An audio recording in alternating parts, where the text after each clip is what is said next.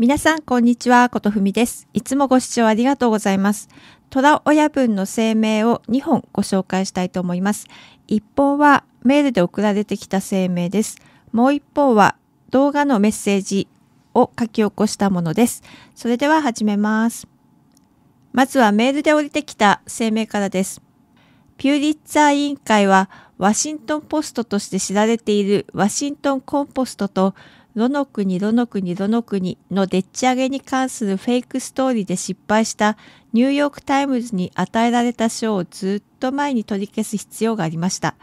しかし、ピューリッツァーは正しいことをすることを拒否します。デマは現在、コロンビアジャーナリズムレビューの壊滅的で反駁できない記事によってさらに暴露されており、ピューリッツァーはコメントしていません。私はピューリッツァー委員会を訴え、記録を正し、アメリカで真実のために戦い続けます。というものです。この声明を補足しますと、どの国がアメリカの不大例を操作していて、トラオヤ分がどの国と通じていて、それで2016年に勝利を収めたのだ、ということを広めて、トラ親分を亡き者にしようとしていた事実があるんですが、この件に関しても先日の鳥の巣の暴露でその事実はなくて事実がなかったにもかかわらずあったことにしろという圧力が連邦機関側から鳥の巣側になされていたという事実が明らかになっています。次に動画メッセージをご紹介します。タイトルは梅田の一般教書演説に対する虎親分の反応というものです。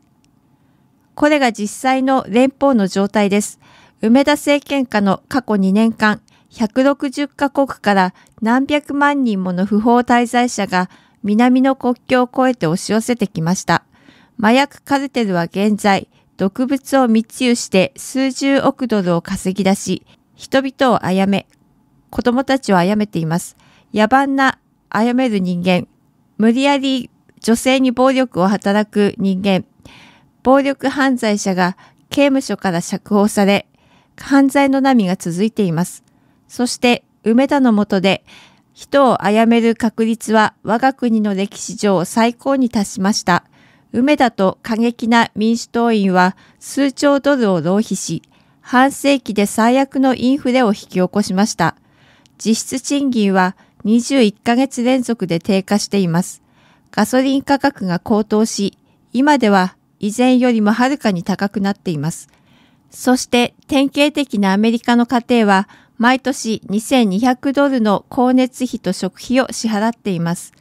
梅田の武器化された司法書、そして私はその被害者ですが、彼の性的を迫害しています。